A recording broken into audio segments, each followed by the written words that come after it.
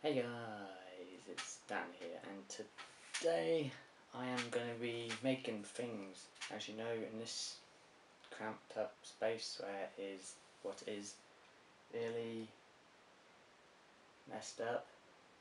I gotta really go through here one day. But I don't, let me show you, I've got sound. My tripod's too big for what I am doing this for. So I am got I have got you on this today.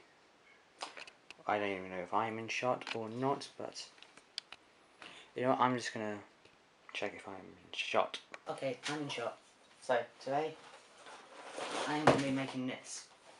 Well, I'm, I'm just in shot, so I'm gonna do a little time lapse of me making this, and I'm gonna be talking probably over the top. Don't know how much battery this has, but the camera has, but hopefully it's enough to get this going. I need a knife. I'll be back with a knife. Okay, I have got a knife and let's let's get into this.